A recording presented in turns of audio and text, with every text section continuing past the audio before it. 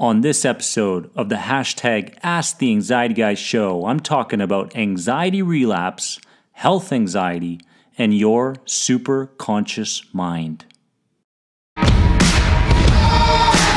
Warriors, welcome. Your questions matter. You're listening to the Ask the Anxiety Guy show.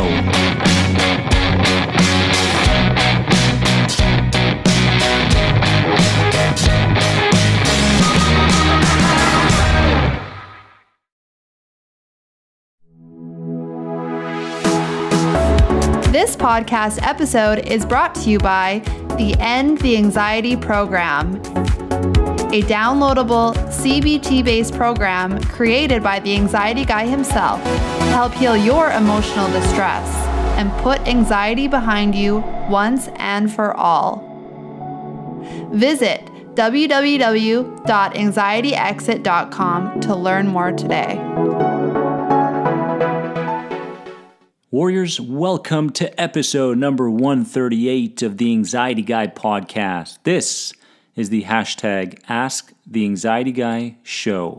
I'm your host, Dennis Simsek, and with me again, Robin Olson. Robin, how are you? I'm good. I'm happy to be back. I uh, I'm sad I missed last week's episode about herbs because that's right up my alley. But what do we got this week? We got a lot of good stuff, and a lot of people out there were supremely jealous of your retreat, your silent retreat. Did you have a good time? Oh my goodness. So I'm in Bali, Indonesia, and it's the real Bali out there. It's beautiful rice paddies.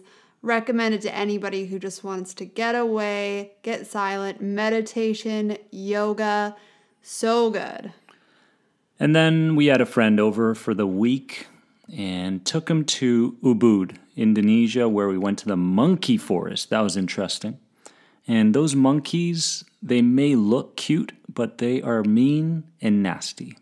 What you don't want to do, tip of the day, if you ever come across a monkey, is don't look them in the eyes or else they will attack you. They will be threatened and they will feel like you are on the offense. I mean, they're so cute, and we were really taking over their habitat, so you can't mm. blame them. True. I mean, you mm. know, it's only if you look at them directly in the eye or if you really get up and bug them. Mm. Yeah, they're going to attack you. True. So enough monkey business. Let's get into the Q&A. Got a couple of really great questions here this week. Um, got a couple of private ones, two from the Facebook tribe, and I want to get, you know, three to five in each and every week here. We're starting on the Facebook tribe by Stacy Turner. Stacy asks the question of Dennis, how do you let go of the fear of relapsing back to that old state of thinking and being? I have been doing good for six months and I have now had two panic attacks in a month's time, and now I'm scared. I'm going backwards, and that terrifies me. Stacy, relapse can manifest due to a lack of the same self awareness and consciousness that you had during your transition. Therefore, falling victim to the thoughts and reactions of your survival brain again, rather than responding. Responding got you to that successful state, to that neutral to pleasant emotional state. Now, or it can manifest due to the fact that you're hungry or tired. Simply because if one of these two components are off, you will become more instinctual and reactive throughout the day. This is just your nature. And you will become less conscious and logical which will lead to anxiety and panic. Stacy, I believe you must shift your thinking from trying to let go of the fear of relapse to CANI, meaning constant and never ending improvement. For example, when I was a professional tennis player, I realized that the better problem solver and hard worker I was on the practice court, the easier life was during the competition. Remember this fear only gets attached to you when you've lost sight of who you're becoming. Fear only gets attached to you when you've lost sight of who you're becoming. As long as your habits match the person you desire to become, you will in time reach the learning stage of unconscious competence, where who you've become is effortless. Your two panic attacks in the last month were either due to perceptions and thoughts that led to the attack, or an event that the unconscious mind felt justified the fight or flight response. Either way, evaluate the lead up to the attack, the moments of the attack, and the post attack, and recognize what could have been altered. The second question came from Instagram, and this was a direct message from Sarah Dale Zamora. And I took this question, I took two questions actually, two of her questions. I'm taking these two questions because I like depth. I really like depth. And these two questions have a lot of mental, emotional, physical, and energetic depth to them. The question is How is anxiety linked to a spiritual awakening? Ooh, that's something I like. Now, Let's get into it. In my eyes, anxiety, my friends, is a call to action by a higher intelligence that is trying to mold us into the type of creation that can achieve our life's purposes.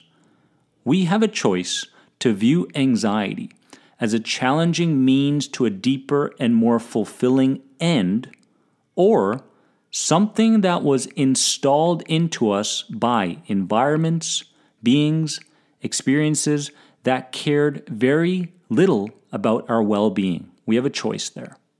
This is where progress meets blame. The people that progress view anxiety as a small part of the mission they are on that will lead to self mastery and great contribution. The people that blame get stuck in a thought cycle of me versus them and base the meaning of life around survival, not growth. And to add on to this, prior to anxiety, I was very much confused, brainwashed, led. I was led. Wherever my life was going, I was led in that direction. I was meant to be a tennis professional. I was supposed to go to school and get good grades. I was supposed to do this and that. I was supposed to be a certain person. And then anxiety showed up, and then I molded myself internally, and I became, I began to lead my life in the direction that was my purpose and my mission, which is what I'm living out right now. So without anxiety, I wouldn't be here talking to you. You wouldn't be listening and applying these suggestions and these opinions that I have. This doesn't mean that someone who's going through anxiety right now is going to be a coach in the future or a mentor. This could be anything. This could be your personal career choice or another way you want to contribute to the world. You want to leave this planet better than how you came to it. That's the goal. That's why we're here. And then she asked a second question. The second question goes like this Could you expand or do a video on the superconscious mind? And I'm going to prefer to expand on it really quickly here. This is, my friends, the infinite mind of potential. We're talking about the superconscious mind here. The superconscious mind can only be identified, accessed, and used when we consistently practiced altered states of being through meditation and other ways. It's the part of the subconscious mind responsible for creating miracles and thinking beyond the ways society thinks. When the superconscious mind is accessed, we no longer think. We no longer think. We intuitively feel like we know and we just know. We defy the internal conflicts between thoughts and suggestions.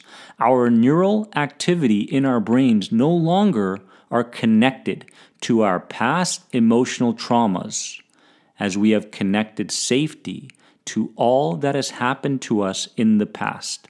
This is a reflection of your superconscious mind. Just a little little piece, little tidbit there.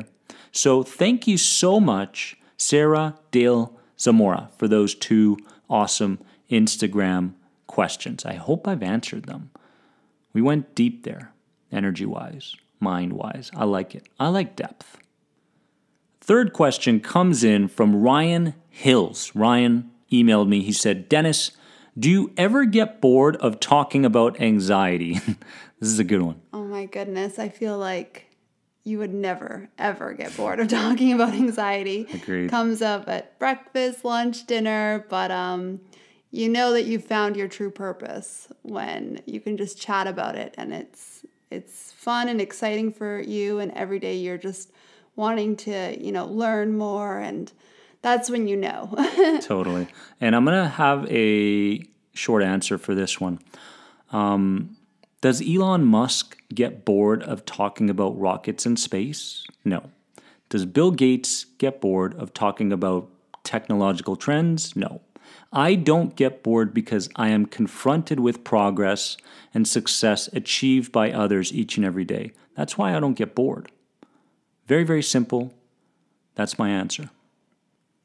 The fourth question comes from Twitter, a DM from Henry James. Henry asks Dennis, could my heart palpitations and off feelings be related to anxiety? Henry, it's possible. It's possible. That's all I can say to you. It's possible. I'm not a doctor. I'm not a psychiatrist. I'm not a therapist. I'm none of those things. I'm not a mind reader. I just want you to know that this show is not about the reassurance seeking. I'm not going to go deep into these types of questions anymore. I want you to figure it out. I want you to look deep within your emotional traumas that you've gone through, what you're hiding within your body and your mind, what's showing up in terms of emotions as you go through the day. Look at your lifestyle patterns, fix your diet. This is all on you. So, again, it's possible. Question number five Danny Von Felt from the Facebook tribe. You'll notice that I'm a little bit biased about the Facebook tribe. It's fine. I just love them. Like you love them? Yeah. I, I love them. Instagram too. Instagram too. Instagram's getting there. And Twitter, you're good with Twitter. I'm just I don't I don't understand Twitter. I didn't understand Twitter for a long time. I still don't but understand there's still Twitter. lots of you and we love you. Yeah. So, Facebook tribe, Danny, I am a nurse and I have somatic symptom disorder or bad health anxiety. How do you separate yourself from people that have illnesses or conditions that you are terrified of getting? I am around this every day. Love, love, love my job, but it sometimes terrifies me. Understandable. Here we have a bit of a challenge because we have these neurons within our system called mirror neurons. These mirror neurons are responsible for empathy and feeling what others around us are feeling. It's a built in system, basically, that's not only responding closely to another person's emotions, but their intentions as well. So I understand where you're coming from. This means that if someone has a certain intention that your subconscious mind picks up on, you will begin applying to your life similar intentions as others. Now, here's what to do to start overriding the fear when it shows up. Number one, prior to going to work each and every day, visualize yourself caring for others, but not becoming others. Visualize with great detail how you'd want to think, talk, and act around these people. That's number one. You want to make sure that you do that every single day prior to work. Number two, wear an elastic band and practice the three steps I've mentioned in previous podcasts, which are snap, which means catch yourself in the moment of thinking irrationally. Catch yourself in the moment where emotions show up that you don't want to entertain any further. Become conscious, practice self awareness, snap the elastic band, and catch yourself in that moment. Second step is to counter the thought with another perspective, meaning, what's the opposite? What's the opposite? Or what's another angle as far as you seeing what's truly going on right here? And the third step would be build evidence around that new perspective. So, catch the thought in the moment, counter the thought with another perspective, and build evidence around it. This is what you want to do as you're going through the day to recondition yourself. I'm a big fan of elastic bands when they're used properly. Now, to add to this, just one more thing that you need to do, and that is to find a role model. Bring the role model with you when you go to work, meaning you are that person. You think the way that person thinks. You act the way that person acts. Your physiology looks like that person. You are that person. So you must have a role model. And this is kind of like getting ready for a big show. You got a big show coming up in a few months, and you're going through the routines. You're getting ready. I mean, you're getting ready for the role. Look at it like that.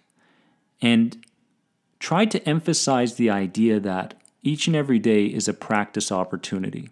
It's not, I'm going to try to shove away the problems or the challenges. I'm going to look at it directly and identify it when it shows up so I can do something about it. Robin, thanks so much for helping me out today. I love you, and I love all of you out there.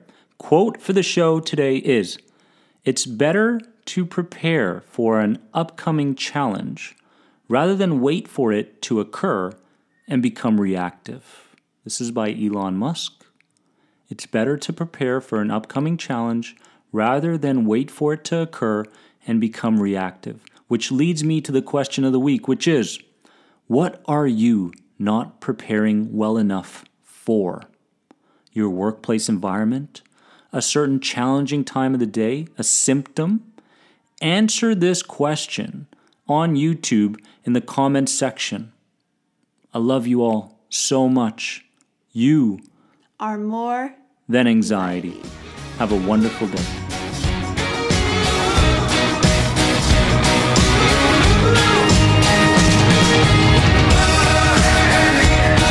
Warriors, remember, you are more than anxiety. You keep asking the questions, and I'll keep answering them.